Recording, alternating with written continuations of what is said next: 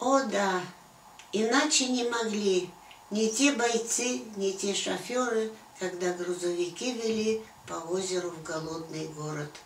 Холодный ровный свет луны, снега сияют иступленно, и со стеклянной вышины врагу отчетливо видны внизу идущие колонны.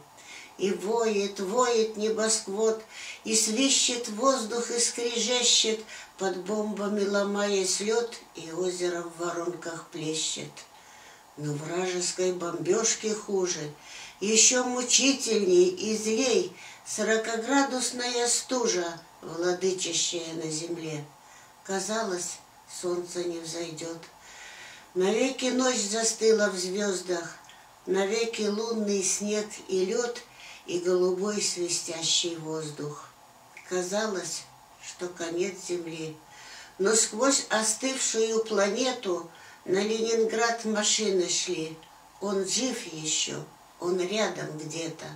На Ленинград, на Ленинград. Там на два дня осталось хлеба, Там матери под темным небом толпою булочной стоят — и дрогнут, и молчат, и ждут, прислушиваются тревожно. К заре, сказали, привезут, гражданочки, держаться можно. И было так. На всем ходу машина задняя села. Шофер вскочил, шофер на льду. Ну, так и есть, мотор заело. Ремонт на пять минут, пустяк. Поломка эта не угроза, но рук не может разогнуть, их на руле свело морозом. Чуть разогнет, опять сведет. А хлеб? Стоять, других дождаться. Хлеб, две тонны, он спасет шестнадцать тысяч ленинградцев. И вот – в бензине руки он смочил, поджег их от мотора, и быстро началась работа в пылающих руках шофера. Вперед!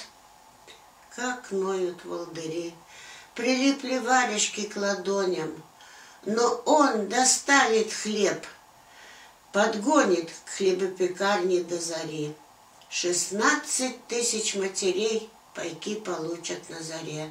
125 блокадных грамм с огнем и кровью пополам.